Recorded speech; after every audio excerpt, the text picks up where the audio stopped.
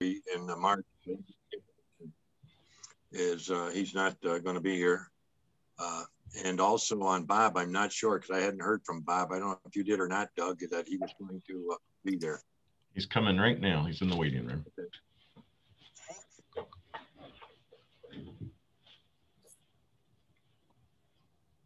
There he is. Morning, Bob. Yeah, sorry I'm late. I had trouble getting in. I couldn't remember our uh, our um, password or our code. It's always something. Well, I think everybody's going to attend today's meeting is here, uh, and I'd like to welcome everyone today. Uh, I wanted to bring you uh, the committee, make them aware that at the uh, last board meeting on uh, February 15th, the swimming pool uh, regulations were adopted for the RRLD. What we're going to do now is hopefully put, not hopefully, what we're going to do now is have the the manufactured home and lighting uh, codes be acted on by the town board to establish a public hearing for the month of April. So uh, hopefully we'll get those moved through also. What we're doing is we're working on items that, uh, you know, the development office or some committee has decided that they would like to be moving forward on some of these. I know we have a list of items, but uh, we came up with that list. Some of them weren't, uh, you know, if you will, considered priority items. And so uh, for today's meeting, we, as you saw by the agenda, we had three different items on, and uh, we'll discuss them. And, and uh, Doug is the uh, new Eric, so he's going to take over, and we're going to talk about the Parks and Recreation Committee, what they wanted to see implemented before, if we could, before the parks open this year. So I'll turn it over to you, Doug, and you can explain about the Parks and the Recs recommendations. Gary, I'm happy to do that. I was just looking at my notes here. Did you want to touch on pavers before we do that? Well, we could uh, touch on pavers if you want. I, I, was under the impression we talked the other day you were you okay. know, wanted to go in parks, but we it shouldn't take too long on pavers. Uh, I think our discussion was the last time meeting, and also in between, I've talked to a couple, three individuals uh, in regard to it. Instead of having pavers be a code on the books, like to see it be, you know, something that would be considered as it is now, either by the uh, planning and or zoning committees to the or boards to decide, you know, if it's warranted because it's only uh, certain areas of the town and checking with the uh, development office. There's only been three or four of these, uh, you know, put forward within the last uh, year or two. And so instead of getting them, because most of the places that are having them, they're kind of unique for that place. And so it would be easier for uh, the uh, boards that I mentioned, uh, you know, to be acting on. So I'll open it up for discussion. And yeah, where I did think... you where did you get this feedback from, Gary? Uh, the development office. Because it becomes an issue at nearly every one of our ZBA meetings. Mm-hmm. And in addition to that, the Environmental Conservation Board has to review every one of these. And generally speaking, I don't think I've seen one where the Environmental Conservation Board hasn't even recommended pavers as being uh, uh, permeable pavers as being a substitute for uh, different situations. And I'm sure Bob can go and, and uh, chime in on this as well. He, he experiences it once a month as well. It's a hot item with uh, with ZBA. You're breaking up for me, Bob. I don't know about the others. Yeah. Oh, I'm sorry. It's a hot item. It's uh, it. Uh, I would agree with uh, with John. Um, I, if you want the ZBA um, direction, uh, you know, for uh, how to go, I don't think you really want us to, in a sense, legislate. I, I think, uh, as, I brought up last meeting, and I think I went full circle in this thing from the planning board's perspective. Uh, we see a proposal, uh, an applicant put porous pavement on the plan as uh, his uh, way of uh, abating the stormwater management requirements or complying with. And there was always the question is as to what the detail of that porous pavement would be. Is it is it functional? Does it work right? Is it the right application in that particular property?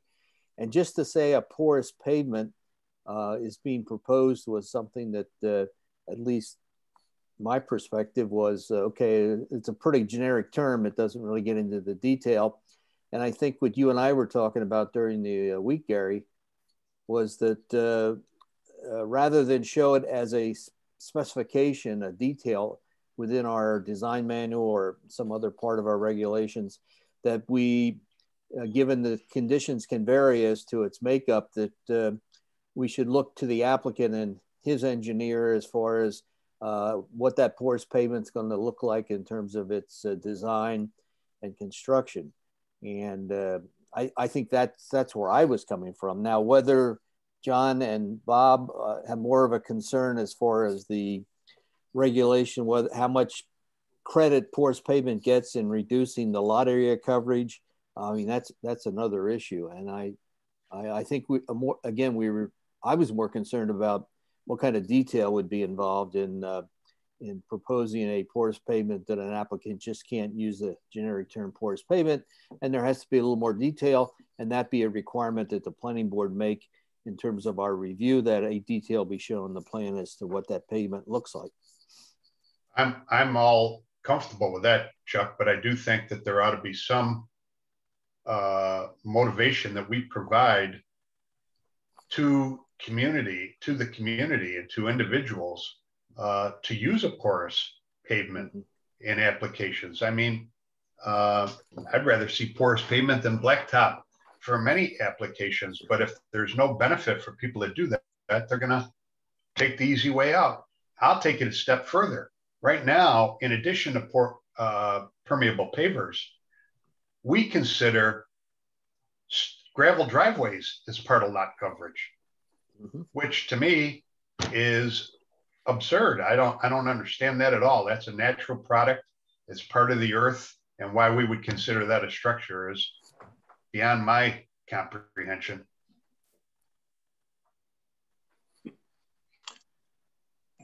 Well, it seems so that on this, I'm not trying to kick the can down the road. I know Chris couldn't make it today. I was hoping he would because we were going to be talking about uh, that uh, and pavers. Uh, but at the uh, April meeting, I would hope that he could attend so he could uh, voice his thoughts on it also, if you don't mind, John. I don't mind. I mean, but uh, you know, I think it's what the community wants uh, to see as a long-term solution, as opposed to uh, the development office. But uh, I don't mind waiting another month. We've waited years since I've been on this committee to uh, address this, so another month isn't going to hurt us. So, okay. so I guess, I, go ahead, Doug. I was just going to say, you know, the the Environmental Conservation Board that was brought up, and I've been temporarily chairing those meetings I think generally it's it's not something that they like to encourage. Um, so, and I know that they would very much like to meet with the ordinance committee. Maybe that's something that could be done at a later time where you can meet with the environmental conservation board where they can talk about that and kind of explain their their rationale and their thought process too. That sounds like a reasonable suggestion to me. Right. So it sounds like the issue is yep. not not the detail of the design as to what a porous pavement is, but it's more what kind of credit or um, prior, not a, a credit's the right word, I guess, that they would get on their lot coverage uh, as a result of using porous pavement. And that, that's, I guess, something we've, we've got to, that's sort of where we're going, guess, Gary, in terms of uh, this issue. Well, isn't, it, both, isn't it both though, really? That, I mean, the design should be something that's uh, um, given weight, not not just what kind of credit you get for, you know, substituting porous pavers for asphalt or mm-hmm. concrete or, I mean, both are important. Yeah, and I I think with the design aspects, rather than getting into a specific detail, as I said before, uh, in our code as to what a porous pavement looks like, I think we we let leave that up to the discretion of the engineer for the applicant because the the, uh, the technology of porous pavements and permeable pavers keeps changing every day. There's so many different options that uh, if someone wants to propose a uh, something new, new and improved uh, over something we've seen before, uh, we should certainly consider it. And obviously, with the input of our engineer, uh, agree to whether we're going to use that. And then make sure that that detail uh, is spelled out in the uh, in the plans that are being uh, being approved. Yeah, and as long as that's included someplace so that they are aware that they have to provide that detail and that information for you to consider. You put that in design build standards or someplace just so that it is noted that it is a requirement. So I guess the issue going forward, Gary, is uh, do you get some sort of credit on your lot coverage for using some sort of porous or permeable pavement? Right. I, yeah, that I uh, would agree with that, uh, you know, probably that's something you're talking about too, right, John? Yes, exactly. Yeah, and I, I, I would just add for those you people have been uh, around the block uh, and know how the variances go on the in the uh, lake area. Um, we're all we're talking about pre-existing nonconformities. People want to uh, expand what they have in in one of these, uh, given that label, and uh, part of the of the trade-off is this porous paver currently.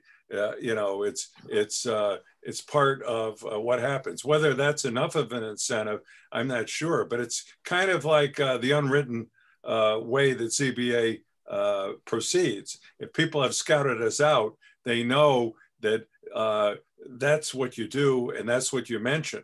Now, uh, I must uh, uh, confess that I'm learning as I'm moving along, and I'm only as good as the spiel that these, you know, uh, spokesman say, you know, and telling us what to do. Part of it's a leap of faith, because no matter what the, their uh, their their uh, grand design is, if this thing isn't maintained, then it really it's uh, it's not it really doesn't amount to much. So I, I'm I'm with what all of you have said, and uh, sometimes the devil is in the details, and that's where I'm uh, a little bit. Um, uncertain as a ZBA member, uh, not understanding some of the details, but learning along the way. And I, I just, to add what you've just said there, Bob, I would go so far as to say that the ZBA has almost created precedent relative to permeable pavers as a solution to lot coverage issues.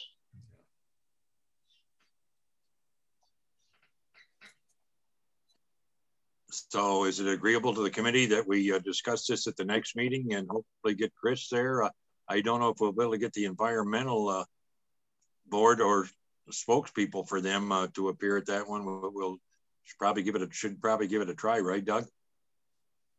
I would agree. Yes. Okay. I think it's something that they really want to weigh in, and I would also encourage you to uh, also include Kevin Olvany in those conversations because Kevin was very involved in uh, uh, with a number of you when we were doing the RLD uh, and the whole lot coverage when we introduced lot coverage. Um, and there was actually a, a focus group uh, representatives uh, from all the municipalities around Canandaigua Lake that were part of that when we actually did that lot coverage uh, requirement. And the whole subject of pervious pavers came up at that point. So I think he could provide a, a lot of information because you're really going back, you're talking about going back and revisiting that whole discussion that honestly took place for almost a year. So, wow. okay. So much for a quick discussion on pavers. yeah. uh, now, now do we want, uh, Doug, do you want to uh, bring up about the uh, the Parks and Recreations uh, Committee's? Uh, sure. About, I'm going to share my screen here so that we can Oh, look at uh, this this section. I emailed this out. Hopefully everybody uh, received this, but uh, we'll just kind of walk through this um, as we go. So the this is the entirety of the town's parks and recreation section of town code.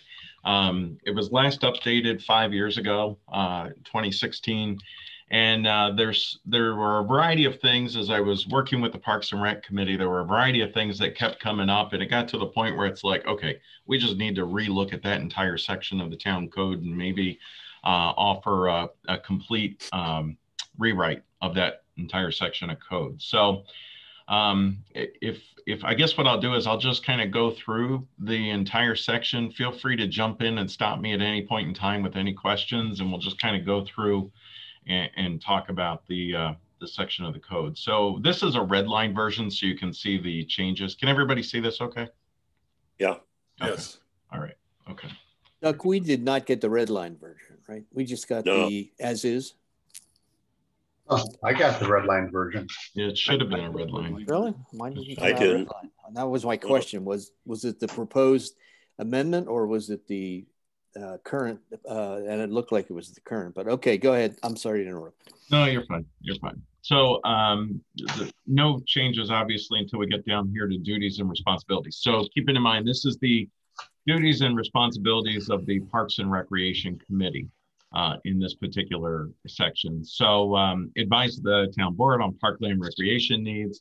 Um, we do not, we no longer have a position of director of parks and recreation. So it strikes that section out. And so it says advise the town of new parks or recreation facilities uh, and make recommendations for improvements or expansions relating to parks or reservations or recreations, I'm sorry.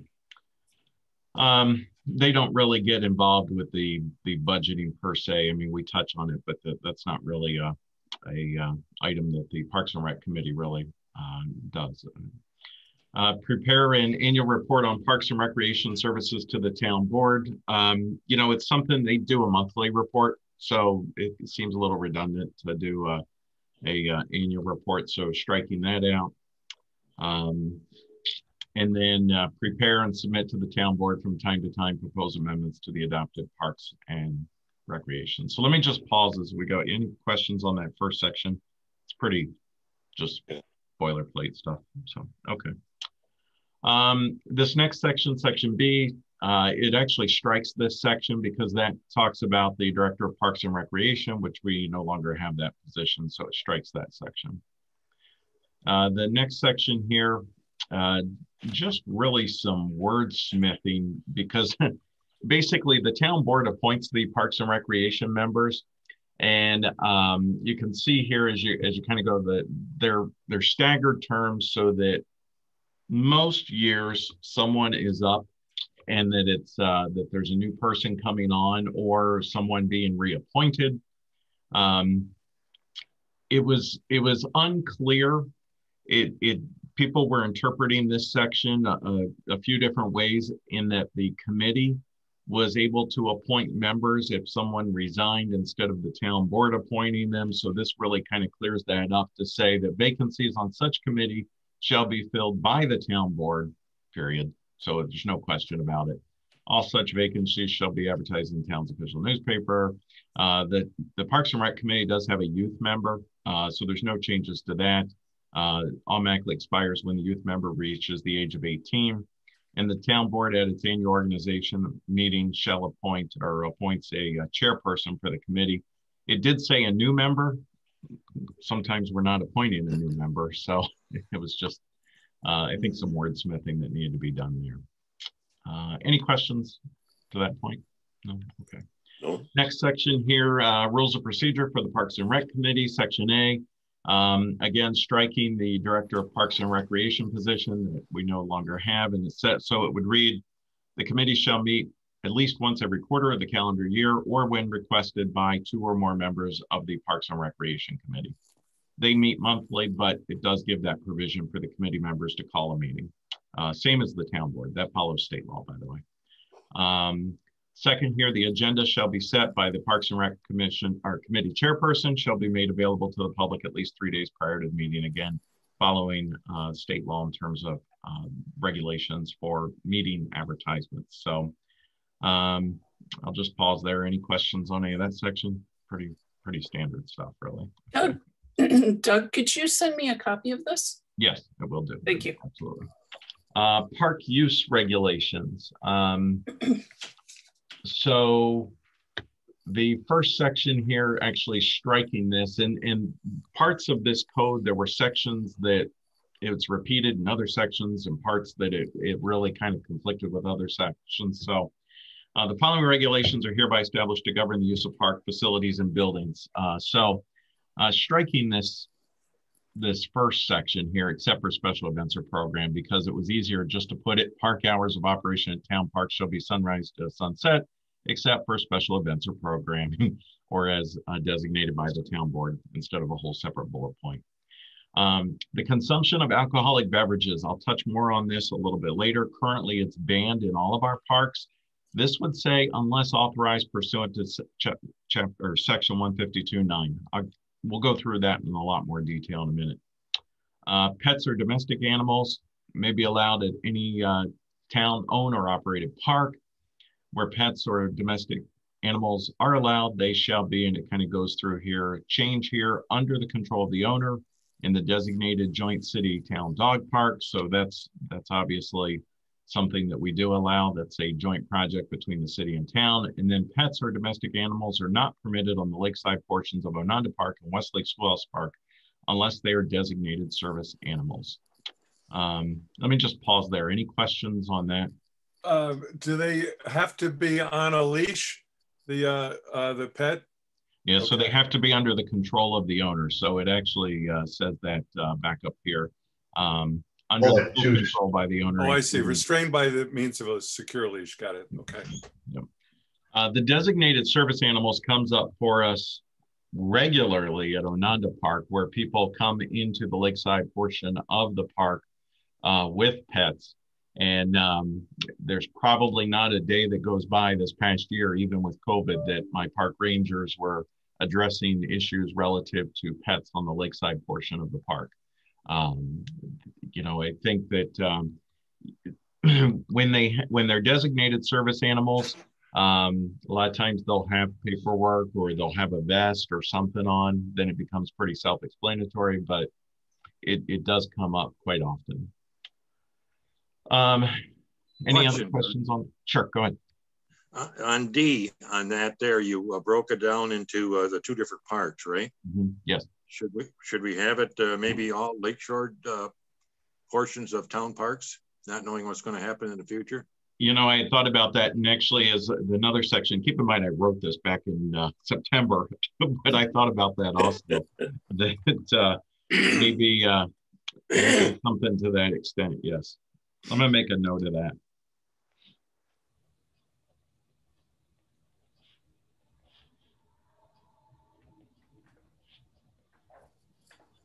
Okay. Um, any other questions on that one?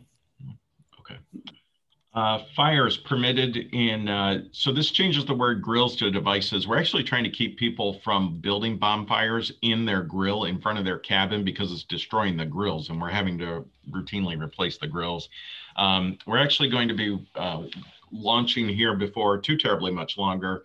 Uh, we had actually budgeted for and we've contracted to um, look at some improvements specifically for the upland of Onanda that may include some uh, designated devices for small uh, little fires, as well as we're looking at doing more of a community type of a fire ring down at the lake, uh, right at the lake for the lakeside, uh, instead of people building fairly large fires sometimes in their grills as a bonfire, and it's it's really destroying the grills. So that is a change there. Uh, jumping down here to section I, this adds the word vaping, smoking, or vaping is not permitted in uh, any of the parks. Uh, just pause there for a second. Do you sure. get many complaints of people uh, complaining that others are smoking or anything like that down there?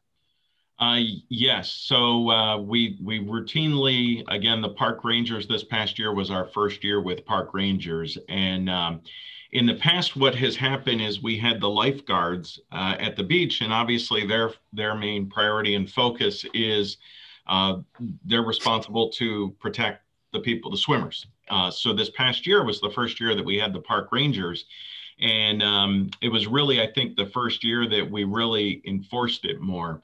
And everybody, I think, was very, very polite uh, from what I heard. Um, there was only one issue that I heard of relative to someone smoking uh, at the lakeside portion of the park that uh, specifically at Onanda. Uh, but otherwise, everybody was it was uh, pretty cordial. I know the park rangers told me many different times where um, they would either see someone smoking or they wouldn't see it and someone would flag down one of the park rangers hey someone's smoking and it's really bothering me. Would you mind talking to the person? And so they did so. Is there any thought been given to having designated smoking areas? So uh, the town board actually, Terry, I, I, think it was pre Gary, but I think it was probably right around 14 or 15. There was a whole I think a couple yeah. of meeting discussion and public hearings relative to smoking. And uh, the town board at the time, they had talked about designated areas or, or whatever the case, but they, I think the general consensus was uh, no smoking on any uh, facilities, any owned facilities. Um, and I believe the county, that was the same time the county, I think, followed suit and did the same exact thing. Yeah, we did the same. We did it any town owned property. I mean, it was unanimous. Excuse me. I guess it becomes more of an issue with the uh, cabins that if someone has a cabin for a night or two, uh, after dinner they go out on the the front yard and light up a cigarette and it's you know have a drink and uh, that that probably tends to happen more frequently than someone being down along the lakeside uh, swimming. But that certainly it's it's something that can happen. I'm sure it does happen. The other thing we've seen people go out to County Road 16, and that is something that um, you know, at that point they're not necessarily on the park uh, where they walk up the road and uh, light up a cigarette um, and then come back. Thank you. Yep, sure. Um, this next section, it, it did say campers, uh, but of course, recreational vehicle campers is what we're trying to just be a little bit more clear about that. Uh, trailers or motorized camping units are not permitted in any park. Um, we do allow camping, obviously at Onanda with the cabins. and uh, we'll touch base here in a second about tent camping. So uh, this, this clarifies that. Um, the Parks and Rec Committee did send me, or the chairman sent me a follow up email here. Oops, that's not the one. Asking the question, uh, thought came up, I glanced at review. It says no overnight parking of RVs at town parks. Would it pay to have a without prior permission from someone official added to that? I get what he's asking, but on the other hand, um, you know, one of the issues that we run into, especially with with Onanda, is limited parking space, and a camper and trailers take up significant amount of parking. Um, so it just seems a little cleaner, honestly. I think in the past, what we've kind of talked about is just leaving it out. Um, it, you know, saying no RVs basically, um, trailers or motorized camping units uh, permitted in any town parks. Does anybody have any comments or thoughts on that? No, it's good policy. Yeah, I agree. Okay. The next section here, tent camping or cabin camping may be allowed um, in designated locations by reservation. So it, it previously said at Town Park with written permission of the Director of Parks and Rec, which we, we don't have a Director of Parks and Rec. So um, couple of thought things here, and this is kind of also trying to think ahead. We have a, a new reservation system um, we obviously allow camping overnights in our cabins. Uh, so if you have a cabin, you can certainly camp there. Um, sometimes people will put a little tent associated with their cabin rental right there uh, with their cabin. Um, so that's that's all part of the reservation. Um, we're also going to be having additional conversation about tent camping on the uplands at Onanda as we move forward. That has come up a couple of different times. There's plenty of space to allow that to provide an additional service to the residents of the community. Um, so again, uh, if we did do that, uh, there would it would have to be part of a reservation system, obviously, of our new reservation mm. system. So uh, to allow that as part of that. Any thoughts on? What is uh, what is cabin camping, other than being in a cabin? Yeah, so we have uh, so obviously the cabins you've got the the smaller cabins that traditionally are a, a single family traditionally. And then we have Gorham Lodge uh, which which will uh, have overnight it will sleep uh, 55, I believe. And so uh, routinely we'll have larger groups like the Boy Scouts or mm-hmm. someone uh, come in for an overnight camping excursion or a trip or those types of things at Gorham Lodge. Uh, so that's that's kind of the reference cabin camping. Okay. Um, okay. This next section here uh, that has changes, boat launching at Onanda Park uh, by motorized vehicle vessels is prohibited between April 15th and November 15th. the language that was that was here um, references an agreement that's in place between the DEC and the town of Canandaigua. It's a 99-year lease agreement that was in place that is obviously now being updated because DEC is in the process of turning Onanda over to the town of Canandaigua.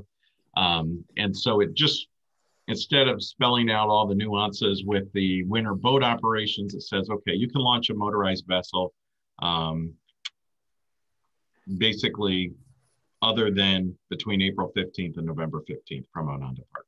So, with the thought obviously being there between April 15th and November 15th, that tends to be the busiest of the season for people camping, uh, people using the park for other purposes. Uh, launching of non-motorized vehicle top uh, kayaks, paddleboards, windsurfing, uh, and recreational sculling vehicles is permitted outside of the swim area, except when conditions uh, exist in which the operator is unable to operate safely operate the vessel or when staff is directed no launching due to safety concerns. So um, this this concept of windsurfing and paddle boards and, and sculling vessels, it comes up quite frequently, whether or not people can can launch. Uh, we don't currently have anything in the code that will allow somebody to launch a windsurfing uh, device uh, at Onanda. Uh, so this adds that in. Uh, it does frequently people do launch windsurfing devices there and are able to do it safely. Um, where obviously we can't have people in the swim area or close to the swim area. And that's where the uh, lifeguards have to make a judgment call there, uh, or staff has to make a judgment call when there's a concern that the person's not able to safely operate it and it gets closer to the swim area. So uh, this really kind of says, okay, we basically allow these non-motorized vessels, including the windsurfing, uh, for that area. So, yeah. any thoughts, questions? No. Okay. Um, launching of motorized fishing boats is permitted only uh, when access to the um, boat launch located at the north end is unavailable. So this goes back to um, this other section and it also goes back to that um, to the um, to the agreement between the DEC and the town. So the the conversation that uh, we've had with staff and also with the um, with the Parks and Rec committee is okay. You can launch and, and, this really cleans the language up here. And you could make an argument these two could certainly be combined, but you can launch between April or um, you can launch other than April 15th to November 15th. You know, at some point, uh, the, the conversation was the town board needs to make a decision whether or not they want to strike this section in its entirety or leave it in there. Uh, so currently, you cannot launch a motorized vessel at Onanda Park any time of the year unless the north end of the lake is frozen and the uh, state boat launch is frozen at the um, at the state boat launch. Whether or not to leave it in there or not, um, you know, that is a question. So. Hmm. What if the uh, boat launch at the north end of the lake is closed for some other reason than ice? Great question. I mean, like, like, during the summertime, um, I don't know if they had some catastrophic problem there. and this would say that you could you could uh, launch a motorized craft from Onanda on the Fourth of July. We wouldn't be able to allow motorized vessels to launch anyway because of the swim area in the summertime at Onanda. It's too close. We just it's too it's not safe uh, for people to be able to launch motorized vessels when the swim area is operational. Well, maybe this should be taken out then. Yeah. I mean, because this says that if that boat launch is, is unavailable anytime. Well, it says here by motorized vessels is prohibited. Between this is- 15th. It's kind of contradictory though, isn't it? I mean, If Well- that, if, does, which one overrides the other? I mean, it says when the north end of the lake is unavailable, it could be unavailable for some reason other than ice. Mhm. So it just seems contradictory to me that So maybe strike P in its entirety. I would I would. I'm sorry, somebody said something I didn't hear.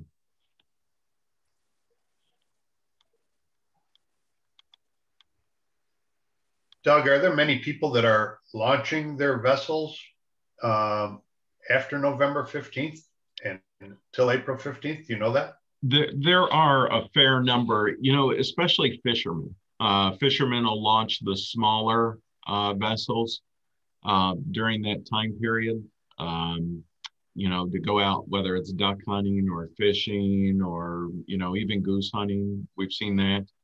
Um, that that tends to be the use during that time period. And that's also a question that has come up is again do we want to go ahead and allow people to use that basically other than that time period april 15th to november 15th to launch a motorized vessel um, and and completely strike p? Because if we let's hypothetically say we just strike p and take that section out about the frozen north end of the lake. Let's say we strike that in its entirety. So then people could launch anytime other than April 15th to November 15th. It, it does make it a little bit uh, cleaner in terms of, okay, well, I can launch my vessel other than that time period. Um, we have had requests in the past where people have wanted to pull um, boat hoist and those types of things out uh, because it was a lot closer uh, using Onanda. And up until now, we've always had to say no uh, because it's, you know, the north end of the lake wasn't frozen. So again, it's, I think it's something that the, you know, I don't know. There's pros and cons like anything else, right?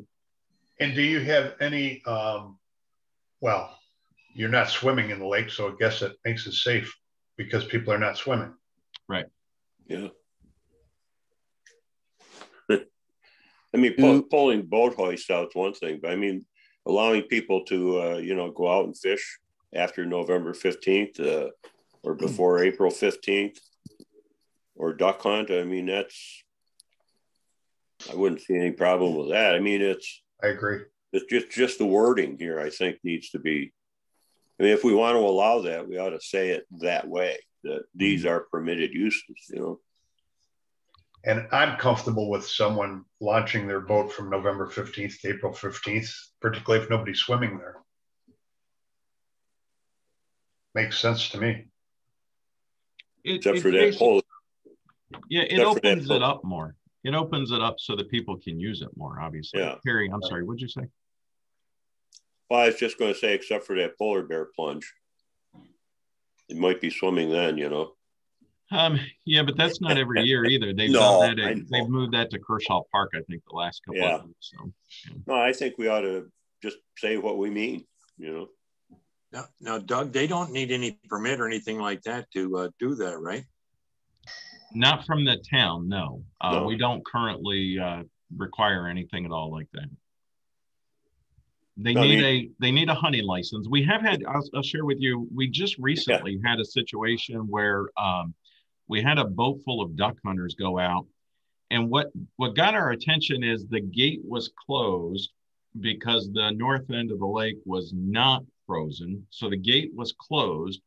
The the vehicle pulling the boat went around our gate and actually unfortunately damaged the lawn up by the volleyball court. They they had to do a little bit of work there.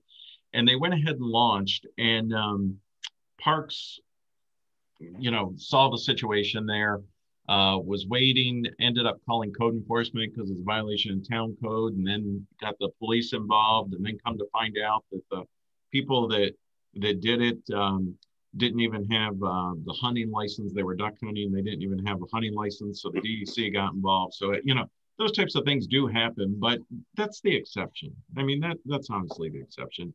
Everybody generally is pretty respectful, you know, I think so.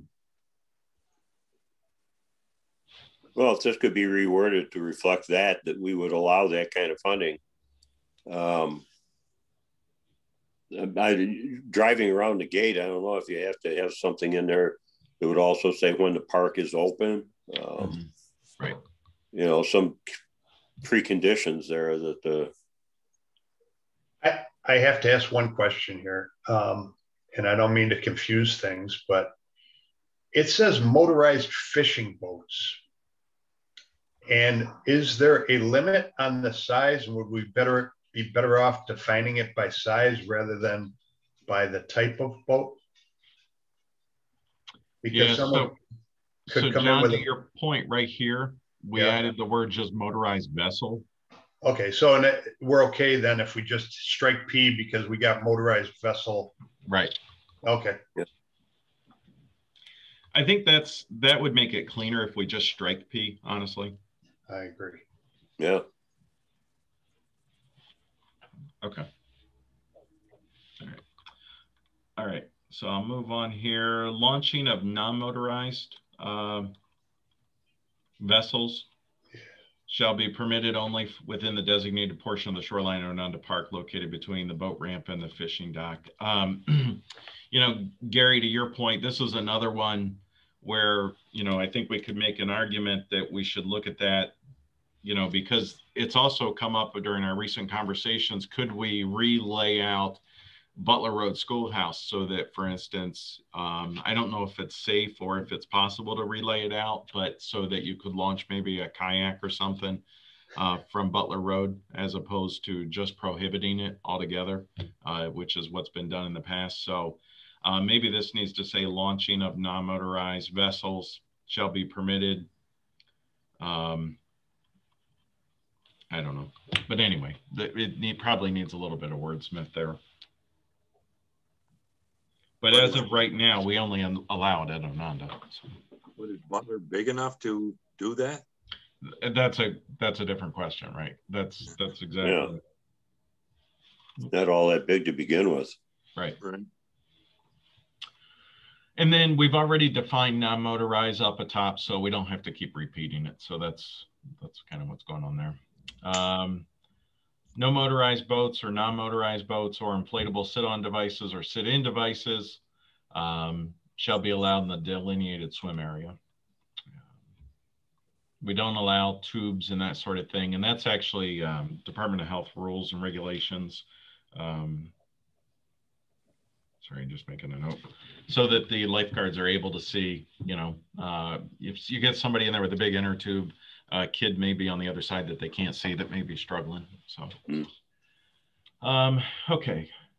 Uh, no organized multi-boat event, kayaking, paddle boards, or other recreational sculling vehicles without permission from the town board.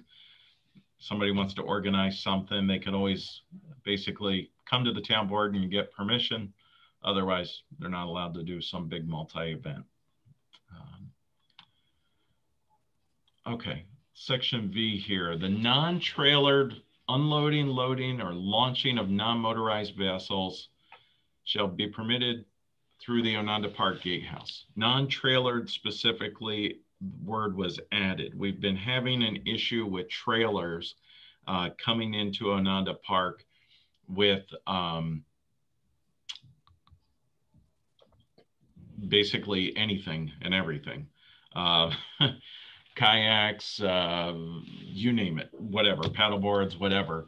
Um, the problem is we don't have the room to, to basically hold a bunch of trailers uh, there for those types of um, for people to launch. So there's there's space there. They can go in the uplands.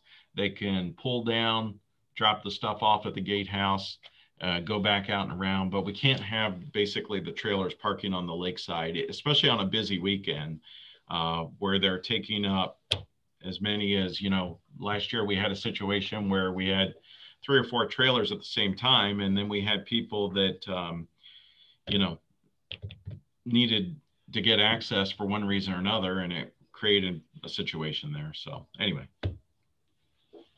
To that point, Doug, why don't you say something about trailers needing to be parked in the uplands parking lots? Yeah. I don't remember. I'm going to make a note of that, John. I don't know if that's in here somewhere already, but yes. I did not see that as I read through it. Okay.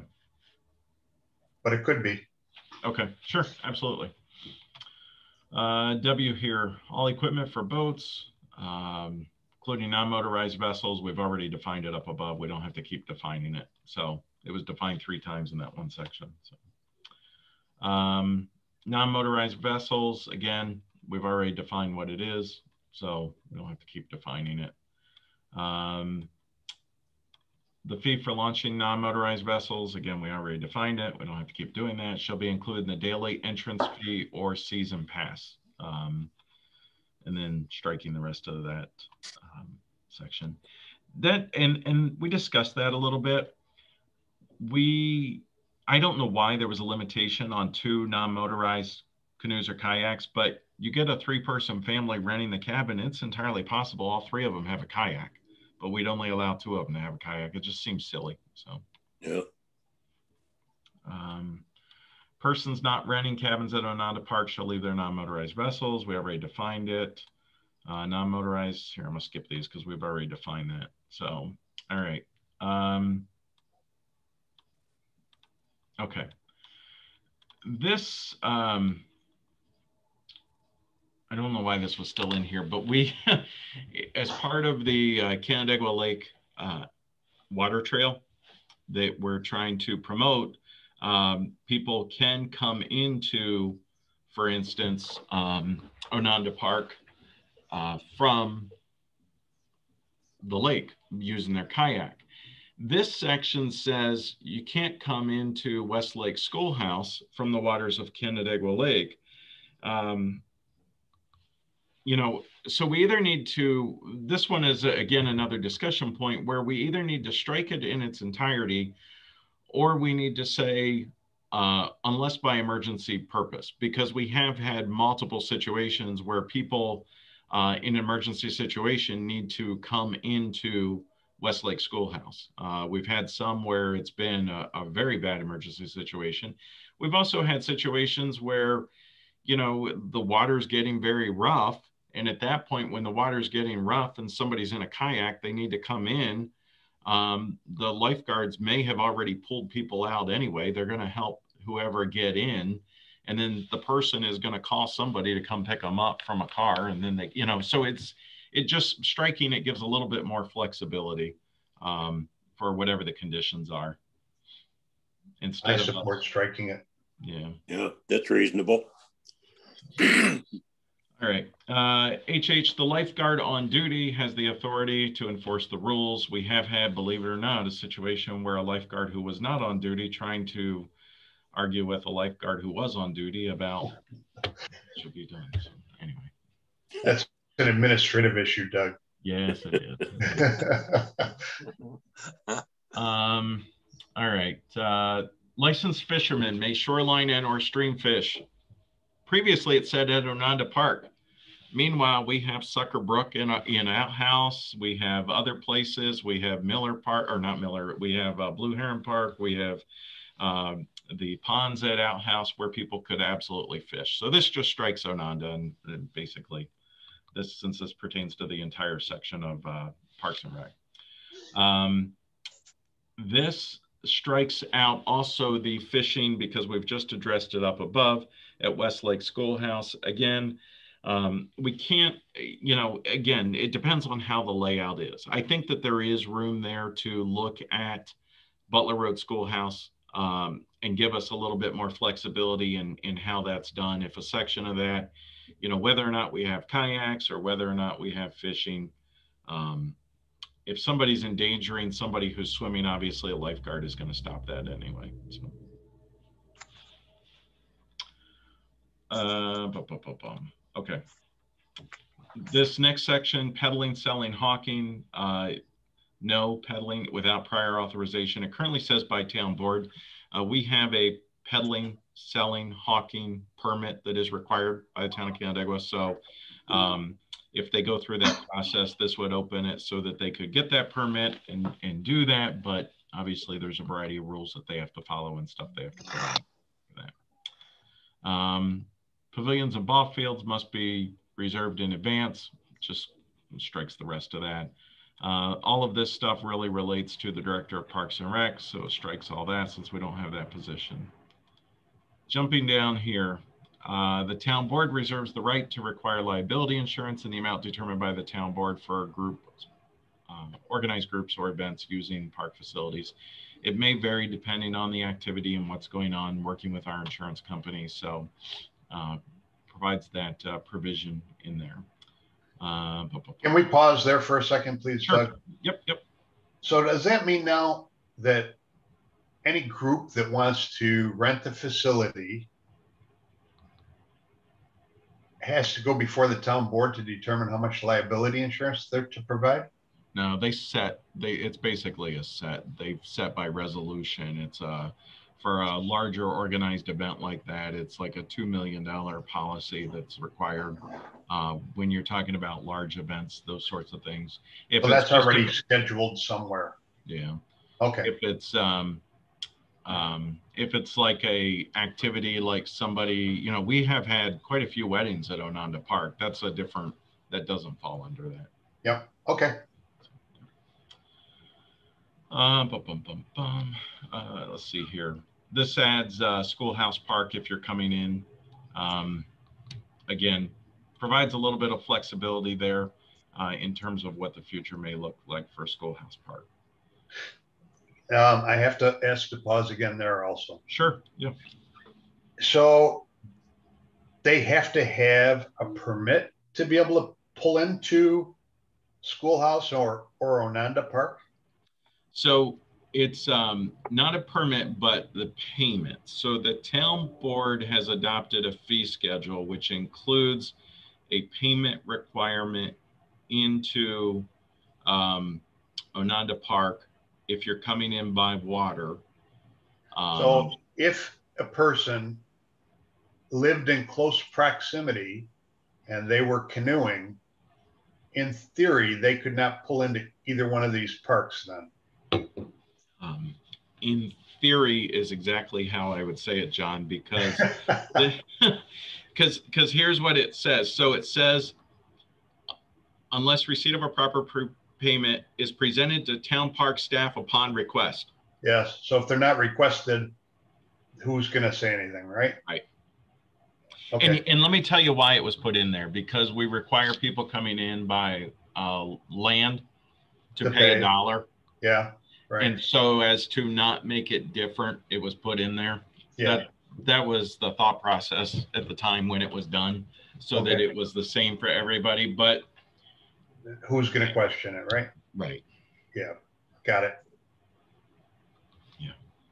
Yep, yep. Unless you get one uh, on duty lifeguard arguing with the on duty lifeguard about whether they should.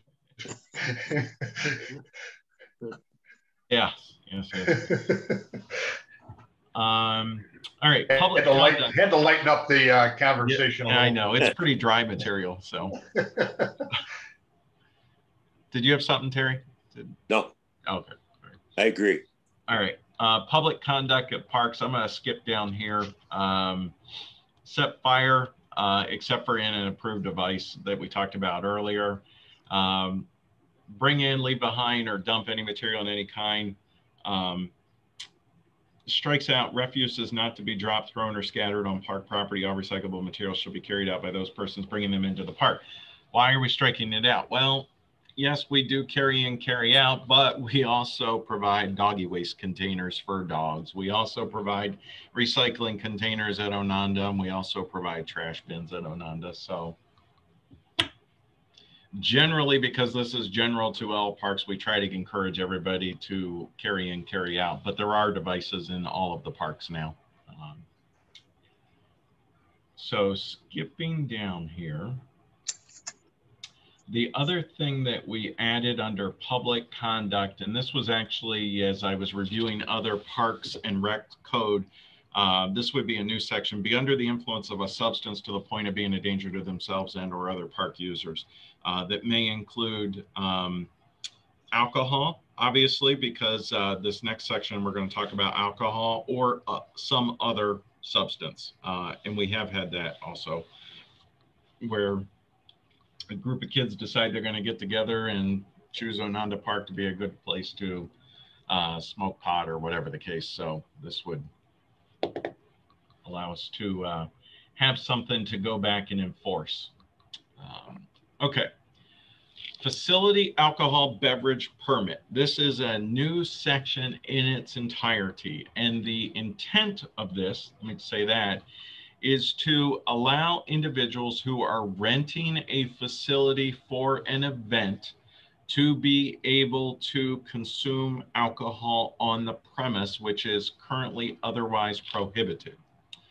Um, and this does not pertain to someone renting a cabin who wants to down a six pack of beer for the night. They actually would not be able to do that because they would never be able to get the facility alcohol beverage permit. So, um, we'll go, yes, go ahead. Before we start going into each one of these bullet points, can we just talk about the concept itself? Sure. Because, in my opinion, if a family is going into the park and they're having a picnic and they want to have a beer to cool off on a hot summer day, or the wife wants to have a glass of wine with her lunch, why are we regulating that? It seems to me that what we want to regulate is the people that are using alcohol abusively. And I think bullet K of the previous paragraph that we just discussed addresses that. So the short answer, John, and, and I personally, I agree with you. I think it would be nice to go down to Onanda, sit by the water and have a glass of wine. Or if I was renting a cabin, to sit on the deck and have a glass of wine. I 100% agree, agree with you. However, Here's why it's not really practical for us. Our insurance carrier. Truthfully, that's what it comes down to. The insurance so, carrier says. Talk about that a little bit more. Yeah, so the insurance carrier says it exposes us to increased liability um, and that uh, they do not recommend it. They are fully on board, and I've gone through this with our insurance carrier. They're fully on board with a uh, facility alcohol beverage permit, the way we've described it. But in terms of the person who um, to prevent liability on the part of the town. The person, like I just explained, sitting on the deck of the cabin having a glass of wine that may become intoxicated and either hurt themselves or someone else, that puts the town in a greater liability uh, situation. So let me ask this question then as a follow up. Can the rules be stated without having someone obtain a permit to do it? So, I mean, you've just outlined a bunch of clauses here, A through M, that if we initiated all these clauses without the person having to obtain a permit, is that going to satisfy the insurance company? So they would not be able to have alcohol in any of the parks unless they had the, the alcohol beverage permit. That's my point. So I'm saying to you, just one second, I just want to close this door. Sure. Um, so you say in here like the person can't distribute alcohol and um, that they got to be over 21. Couldn't we put these bullets in and then not require the person going into the park that wants to enjoy that beer by the lake or that uh, glass of wine by the lake? Would that um, alleviate the concern of the insurance company? No, because what they're saying to me is that it protects the town if we're requiring this permit that this is a organization that's associated with an event. They've rented a facility. They are taking on the liability for serving basically the alcohol to the event attendees they're taking on that responsibility by getting that permit. And so then that alleviates, it's never going to fully alleviate but that limits the exposure of the town because the town has outlined a process where if you're going to serve alcohol, here's how you do it. Do we have a facility alcohol beverage permit currently? So this would create it, Terry. This okay. Would, this would actually create it. Yeah. My, you know, my issue, my bigger concern than alcohol abuse would be underage drinking, but I think that's covered uh, in G. But um, I, I see that as a as a, uh, a big issue. You don't want high school kids saying, "Hey, uh, you know, we're going to uh, party it up on uh, on town uh, at a town park." You definitely well, don't want that. They would have to come in and apply for a permit, and obviously provide all of the information, and they right. wouldn't be able to get that permit if they're not right. 21. Good. So, yeah. So it would be an additional permit for sure. It would be an additional step um, that, that, that would have to be done. They would have to provide uh, all the necessary requirements associated with this. Um, obviously, the point person, all that stuff associated with the permit. This is really designed more for things like, um, I give you an example. We had talked to the Chamber of Commerce about the chamber doing a dinner at Gorham Lodge. Gorham Lodge will hold 150 people, no problem at all. But they haven't been able to do it up until this point because can't serve alcohol. This is really designed more for like an entity uh, that is renting a facility and then doing it or Crouch Hall at Onanda, or honest and truly for that matter, we've got the lodge at Outhouse Park.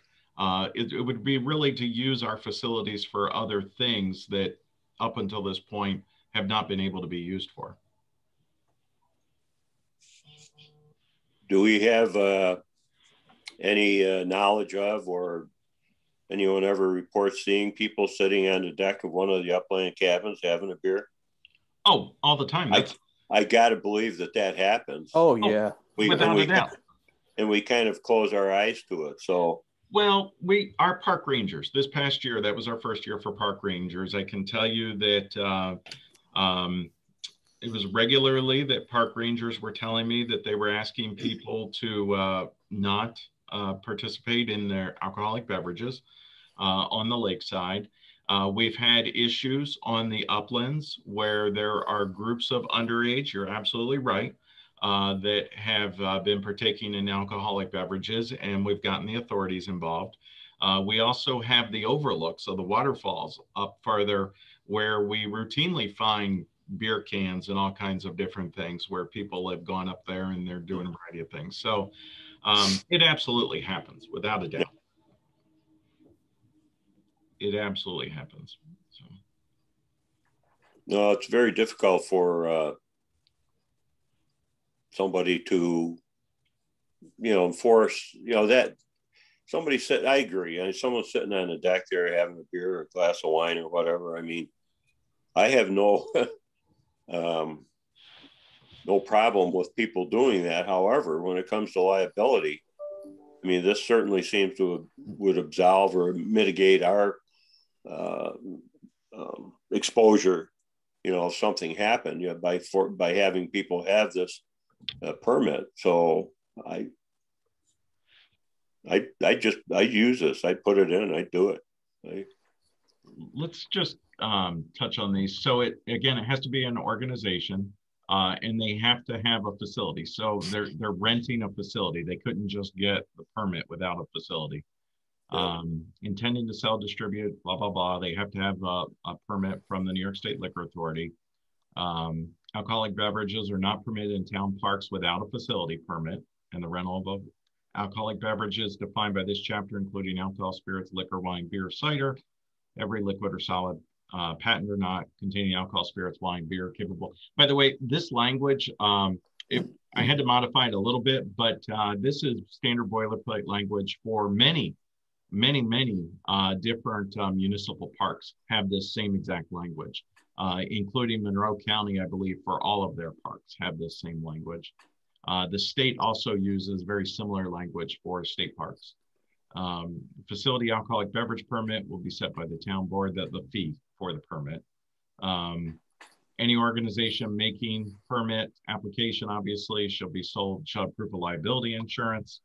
Um, no person shall be under the age of 21, uh, can't consume, uh, can't become intoxicated. Um, person intoxicated while in a town park may be subject to eviction and or associated penalties.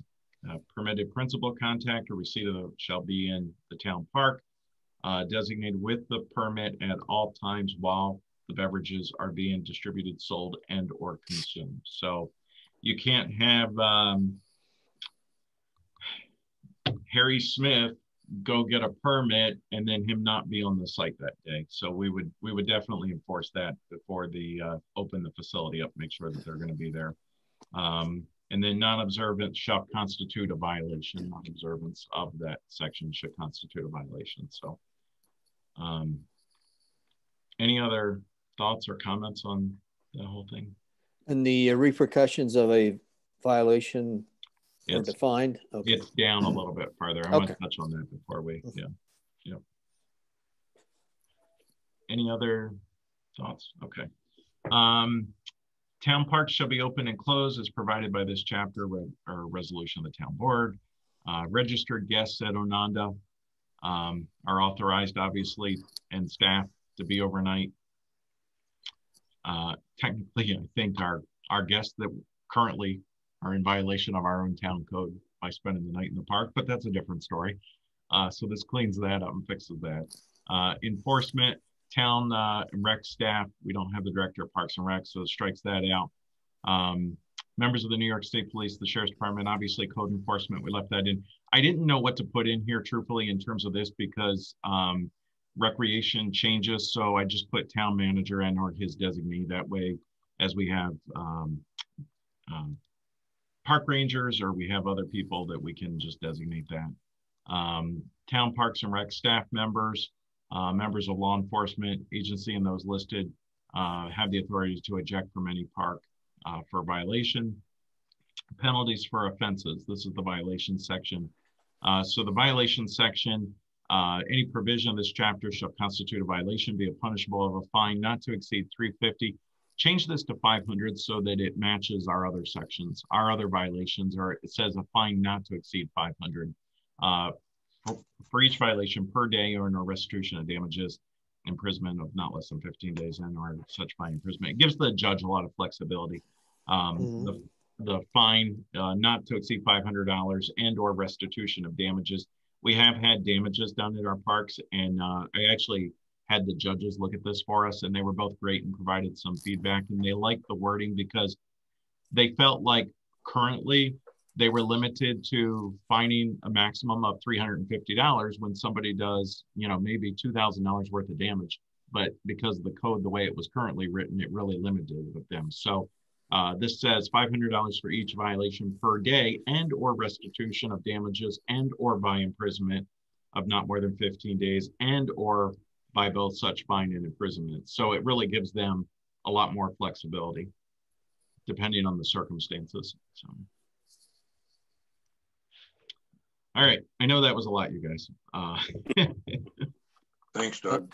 No, it's needed. Yeah. Hey, Chuck, I think the version that we got that wasn't redlined was, you know, the version with all these changes in it. Yeah, all the red lines were looking it up. Yeah.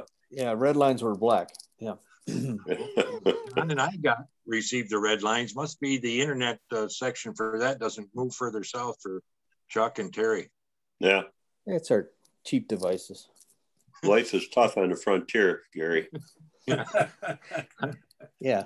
Now, how does the committee want to uh, move on this uh, after Doug makes the changes? Uh, if they want to get this uh, on the books, if you will, before the season really starts for the parks, uh, we're running up against some, uh, you know, hard uh, deadlines because if we, uh, Doug makes the changes and gets it to us at our April 5th meeting, uh, and then we agree on everything uh, at that time, then we send it out to the county, the zoning, the planning, the environmental, the attorney, with the hope that we probably won't get it back until June before we could ask the town board to establish a public hearing, which wouldn't take a place until maybe July. Um, if I can make a suggestion, Gary? Sure. Uh, I would recommend we approve it uh, contingent on Doug's markups Yeah. and uh, Okay. just let Doug send us the markups here in the next few days and we just say, okay, okay, looks good, whatever, and uh, and move on with it. Okay, I that, think that's we've had adequate discussion. Yeah. right. Okay, that's fine uh, because that was the other option that I had in that. So thanks, John. Uh, Yeah. So then we can uh, do that and then uh, hopefully we could, uh, you know, get it out to the different parties that we need. So we can establish a public hearing for it in uh, May, hopefully, uh, or June.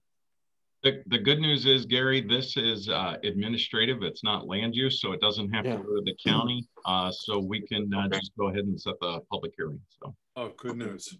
Agree? So we could we could set the public hearing at our March meeting then. yes, Okay. Approve it in April, so it'd be in time for the uh, season. Really, yes, yes. Good. That's good. It's one of the few laws that doesn't have to go to uh, county planning because it's not land use planning. So Okay, thanks. Now, uh, should we hold off, Doug, on bringing up the, uh, anything else, the billboards? yeah, we need to talk about the billboards, Yeah. but if you want to hold that off and do that next month, I completely understand. It's already been an hour, so that I don't think that's an issue. So Okay, well, I didn't want to hold things up. That's what I was wondering about it. Is, is there anything else that uh, any committee member would like to bring to our attention before we adjourn? Do we want to vote on the Parks Oh, and I'm sorry. Yeah, thanks, John. Uh, yes, we do. Uh, I'd like to uh, get a motion that uh, with the changes that Doug makes that uh, he sends out to us and to look at and uh, to uh, affirm what he has or make changes to what he has. Uh, I'll make a motion to that. Is there a Second. Second? Motion made and second. Any more, any discussion? No discussion. All those in favor signify by saying aye. Aye. Aye. Opposed? No. Carried. Thanks. Gary, do you mind if I throw out another idea? Uh, if it's this going to be, No, I, I just, uh, I was gonna say, if this, uh, billboard issue is important enough, uh, I'm, I'm open to meeting again in, in sometime between now and our next meeting if it's necessary. okay. What do you think, What- Doug? Um, it, it would be, it would probably be helpful and especially if, I- I guess, you know, let me, let me kind of go back to, you had a conversation earlier about meeting maybe jointly with the ECB. I know that they would really like that. There's some things that they would like to bring up to you. Whether you do that at the April meeting or whether you have another meeting, you've got, you've got that issue and then the billboard issue is also, uh, we have uh, pending litigation relative to the billboard issue. So it is something that does need to be addressed. So, And the only reason I brought it up was because I did see that there was a litigation. Yeah. Okay, uh, I'm just looking at the calendar here to, to get an idea. I know in the beginning, we used to have a couple of meetings a month and then we held back after the pandemic hit, but, uh, with the things that are coming on board now, seems so that, uh, probably be a good idea if we did have another one. Uh, is the, uh, 17th or 18th of March, is that, uh, acceptable? One of those days? What day? What day of the week are they? It's a Wednesday and a Thursday. Well, John and I are going to be busy on the seventeenth. Yeah, that's a national holiday. Well, put it differently, Terry, we might be hungover and not be able to meet on the we'll be we'll be over at Onanda Park having a beer by the water. I'm just, just gonna say with you, Terry, you wouldn't be able to use the Nanda Park because that's only allows uh, beer and wine. That's enough. All kidding aside, I'm good either one of those days. I'm good. Yeah. So uh, what's the consensus of the committee? Uh, 17th on a Wednesday or Thursday? The 17th or 18th of uh, March.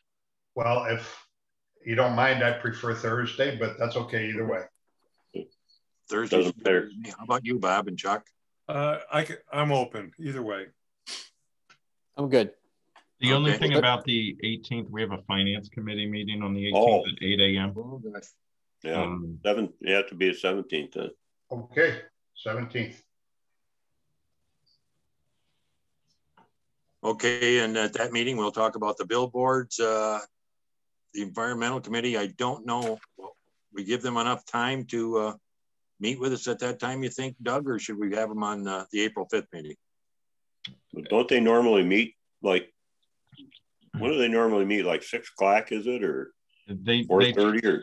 Right, they traditionally meet at four thirty on the first Thursday of each month. Yep. So they have a meeting this coming Thursday. I'm happy to talk to them uh, about the seventeenth, if that's what you'd like. I just wonder if they'd be available. I don't know how many of them are, you know, uh, you know, working or, Yes, some of them may be and some of them may not be, to be quite honest with you. A couple of them are retired, I know, uh, and then some of them I know uh, are not retired. So, uh, but yeah. So more than likely, it'd probably just be certain ones that would attend anyways, right, Doug? more than likely, I would think, yes. Well, let us know on that and then we can uh, work it in.